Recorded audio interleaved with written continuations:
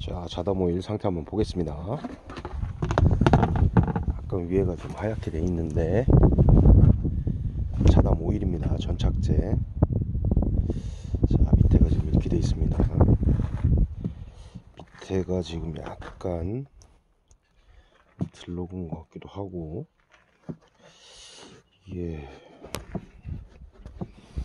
그때 교반이 좀 덜 된 것 같습니다 보니까 그때 교반기로 안 하고 막대기로 조섰더니 힘이 약해서 이렇게 된 것 같은데 이거 한 번 더 교반을 하겠습니다. 어차피 이건 정, 전착제이기 때문에 크게 영향은 없습니다.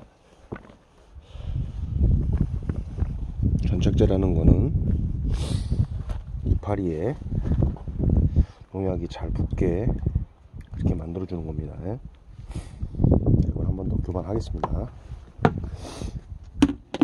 자 자담 유황은 어떻게 됐나 볼까요?